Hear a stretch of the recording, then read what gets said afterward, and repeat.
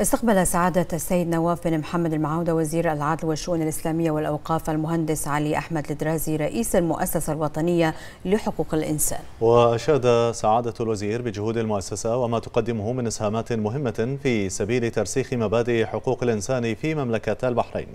وجرى خلال اللقاء بحث عدد من الموضوعات ذات الاهتمام المشترك بما يسهم في تعزيز المكتسبات في مجال حماية حقوق الإنسان. كما أكد سعادة وزير العدل والشؤون الإسلامية والأوقاف على أهمية التعاون المشترك في تدعيم مسارات المؤسسة المسارات المؤسسية للتعامل مع الشكاوى المرتبطة بحقوق الإنسان بما يكفل ضمان فعالية الإجراءات المتخذة في هذا الإطار.